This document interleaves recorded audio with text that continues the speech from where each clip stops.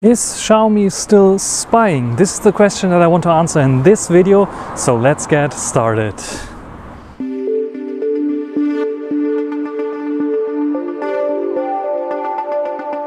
A little bit more than a year ago, I made a video about Xiaomi and spying. It was a German video, a video I made in German, and it was talking about the thing that revealed itself, or a security researcher revealed that Xiaomi actually was spying on their smartphones and spying like in crazy ways, just like in the Mi browser. They were literally sending all the data of every website that you visit to their servers and they were doing this not only for the normal browsing mode but also for the incognito mode so a real big downer. And then, of course, there were also mouse clicks, or not mouse clicks, taps with the finger that was sent to Xiaomi as well. Uh, when you were visiting the file browser, for example, it knew then every folder you visited and every file you clicked or tapped upon, which is a bit of spooky. Xiaomi promised to make it better. They released an update where this spying in, incognito mode in the web browser was disabled by default, which is a good thing. I tested it, it worked. And actually, when I did the video, I was talking about that I will never do any Xiaomi reviews anymore. Then I got this Redmi Note 10 Pro sent to me. I was doing a review, but always had in my back head, I will check if they're still spying. But probably I never really did a video about it. I was talking about it, I think, in one of the one of my podcasts, my audio podcast in German, because the previous one was in German. So, but this time I want to talk a little bit more in detail here in this English-speaking channel. And what I want to talk about is if they are still spying on the Redmi Note 10 Pro that I'm having here and I'm testing right now. So what I did is do a bit of traffic analysis what is traffic analysis, you ask? It's basically you are interfering with the packets sent from your phone to the World Wide Web or to the internet. It's not only the World Wide Web, but also the internet. So what I do is just set up a system that acts as a router basically and is intercepting all communication and saving this communication that goes through it onto a file that can be analyzed via Wireshark. And this option allows me to yeah, spy on the traffic that the Redmi Note 10 Pro has. So a man in the middle attack, you could say. I have a router where I will collect all the traffic that comes through, save it to a file, and of course the Xiaomi Redmi Note 10 Pro thinks that it is connected to the internet. So this is basically how it works and how you can create such things. And uh, yeah, this is uh, one very interesting way of analyzing traffic and how to analyze stuff. Nowadays, however, most of the traffic that also Xiaomi phones produce are encrypted traffic. So that means I cannot read everything that is in those packets. But what I can see definitely is whom Xiaomi is sending stuff. So which server they are contacting and sending stuff to, which is very important because then you can know is it a server in Germany, in Europe, in China, or some other country, which might give us some clue what data they are collecting. What did the analysis of this file show me? So a few things. First of all, the Redmi Note 10 Pro is a cheap device, so it is really contacting advertisement servers a lot. But I can tell you it's only one advertisement server they are connect, uh, connecting to, and this is the Xiaomi own internet uh, advertisement service, international advertisement service actually, because it has an API.entl.xiaomi ad dot something in the address itself. So it is connecting to this advertisements because the Redmi Note 10 Pro is showing advertisements even on my global German model that I have here. It is showing me advertisements. Advertisements in the file manager for example so I get localized advertisements. So this is one thing that points towards which data is transported or which data is requested to the advertisement server. So for the advertisement server to know that um, there is a shop called Otto in Germany, for example, to show the ad from the Otto um, shop. it has to know my localization or my country. So what the advertisement server definitely gets in terms of data is the country that I reside in. I don't think that they are sending the specific location because this is only possible via location services that you enable in the Android setting for this app, otherwise, the, or for the advertisement application to get this. But this doesn't have this enabled on my device at least, so it is not getting the specific location, but it will get the country code, probably the region settings of your phone. They will choose which advertisements to send to you. Then probably they will also send the device. So what I can see is definitely they're sending a device code, so a request where your device, the Redmi Note 10 Pro, can be identified. Not your device that you are holding in your hand specifically, but the device that you have, so a Redmi Note 10 Pro. The resolution and probably uh, also the software version that you have running. That is basically everything that they will send out because the packet is very, very small and probably they can fit a little bit more like the screen resolution or something like this. This can be used because it's an advertisement server for, yeah, taking a fingerprint of your device. So to identify you later on, we are browsing on different websites, for example, this could work eventually, but I'm not so, so sure if this really is the case.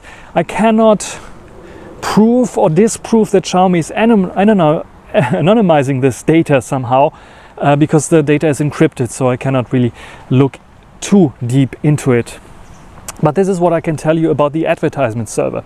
The good thing about this advertisement server thing is that you can turn it off. It's a bit of cumbersome because you have to go into several different settings uh, to do this, and it is a little bit, yeah, off a trick that you have to pull off. So first of all, there's a privacy setting where you can turn off uh, advertisements, but this is not turning off all the advertisements because some applications have also ads. You can go into your apps and then disable the advertisements there or special services there as well which will then not contact the service but the applications itself like the file manager uh, like the uh, video player the music player and uh, yeah, the browser itself they have special options. The optimizer app they have special options where you have to disable the ads uh, manually. And this is possible and after you disable the apps uh, the ads there they they won't contact the API for the ad server anymore which is I think a good thing. So at least you can disable it. So this is working fine. But by default on the Redmi Note 10 Pro it is yeah accessing those advertisement servers and accessing those uh, ad servers and sending data out to them. What about other servers it is contacting? So if you have a Mi account, it's definitely contacting the Mi account as well. I don't have a Mi account, so I don't have any contact. The only thing, if I go into an application, uh, it is checking if I have a Mi account, or if I go into the Mi account itself, it is contacting the Mi account server. Otherwise, it is not contacting the Mi account server at all. It's starting to rain, uh, rain right now, this is why I'm hiding here a bit. Uh, anyway, so this is about the Mi account. So if your Mi account, then don't, then you are basically giving Xiaomi your data. Uh, literally sometimes also because it has a cloud service where you're uploading data and I think it's by default setting up that photos and uh, uh, video files may be uh, uploaded. Everything that's in your gallery will be uploaded to the uh, cloud service. Otherwise, what can I tell, tell you about uh, what is contacting there as well? There's a DNS server. So if you're using the uh, Xiaomi browser, the Mi browser, then it will definitely contact the DNS server from Xiaomi. That would mean that Xiaomi in theory has the possibility to just simply um, yeah, monitor your, your website that you're visiting or at least the URLs that you're uh, entering in the web browser URL bar.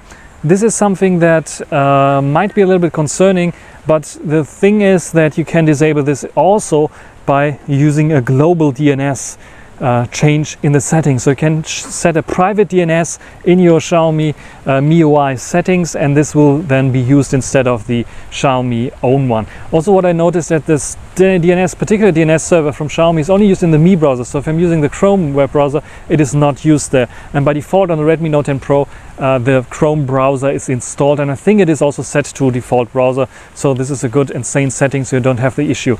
In general, I would like uh, go away from the from the Mi browser. I know if you swipe up by default on the Redmi Note 10 Pro, the Mi browser will open up and will load several th settings there. But I don't trust the Mi browser at all because there's so many settings, so many services, so many things there that I'm not very comfortable using it. So I will recommend you not using it. You cannot remove it per se from the UI directly. You have to use BDebug stuff and then remove it. But if you're not using it, it will not contact any Xiaomi server and any T market servers that Xiaomi is using for this web browser. So what is my conclusion about the whole situation with Xiaomi and their spying? Is Xiaomi still spying? I wouldn't say they are spying per se, not in this matter that they were before. They have some default settings which I don't like, like the advertisements. I know that probably this is a Redmi Note 10 Pro specific issue because it's one very cheap device with good hardware. And of course, they want to earn money with it, so they activated ads by default. I can imagine that on um, more expensive devices like the Xiaomi Mi 11 or the new Xiaomi 11 T series of devices that ads are disabled by default, which I hope they are.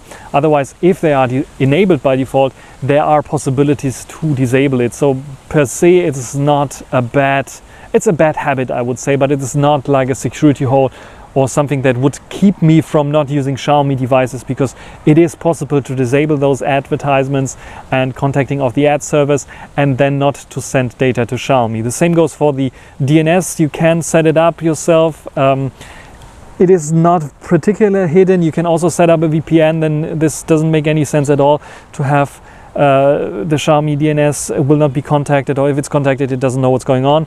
So such things are possible. So in general, my extreme measurement not reviewing any Xiaomi devices is gone because the main reason like the the yeah by default spying on people is gone now. They are doing some nasty things like advertisements which i really don't like but uh, this is like a personal preference and you can turn it off so it is not a security concern in this regards where I me reviewing a Xiaomi device for someone who's interested eventually in buying Xiaomi under the presumption that he knows that there might maybe ads and he has to disable them if uh, he doesn't want if you want to have like absolutely uh, no spying at all then uh, don't buy a, a smartphone at all but uh, otherwise uh, you can disable ads and stop at least a little bit of this sniffing around I would say. It's not spying per se but because your data is not sent over to them it's just like a bit of sniffing uh, what you're clicking on maybe which ads you like and which country you are. And uh, yeah this is basically my conclusion. So is Xiaomi still spying? No, they are not spying per se. They have some nasty things like advertisements on their uh, phones, which I don't like. Um, probably not all phones. Uh, but this is my conclusion that I can get from the Redmi Note 10 Pro. So I want to make it as open minded and as possible for you to understand as uh, it is possible. And uh, yeah, I hope you enjoyed this little insight of my analysis of the Redmi Note 10 Pro. I know that there were things uh, coming up like I was, I think, talking about the Lithuania thing and uh, that there's a list of stuff. Uh, I did not find anything that is like activating stuff in the background, but this is a general problem of smartphones. If you are a smartphone user, it doesn't matter which smartphone you have, the manufacturers have ways to contact your smartphone and enable maybe features that you don't like or don't know about. And this is a general problem of all smartphones I uh, encountered. Um, with a software update or something like this, they can enable stuff for you. Uh, they can uh, send secret SMS. This is like all devices, basically mobile phone devices. Uh, they have this uh, secret and, and, and silent SMS they can send to you to, to get your location, for example. Police is using this, for example, as well. So um, Xiaomi is not the best when it comes to privacy, but they they improved a lot during this year. You have now the possibility to go to a privacy tab in your settings and change stuff around and uh, see all your private data. They have a privacy center, I think, that you can contact as well, which is pretty awesome. And uh, so they improved, and I would give it a thumbs up. They improved for the improvement for the current situation with the ads. It's only a thumbs like this. But I will see um, now in the future that I lifted my self-implied uh, ban not reviewing Xiaomi devices. I can maybe review the one or the other device. I will start perhaps with the mid-range devices and see uh, if uh, there's still spying going on, if there's advertisements going on, and so on. So uh, that is everything for this little video. Hope you enjoyed it. If you like such content, you can click the like button, otherwise share and uh, subscribe. Until the next time, bye.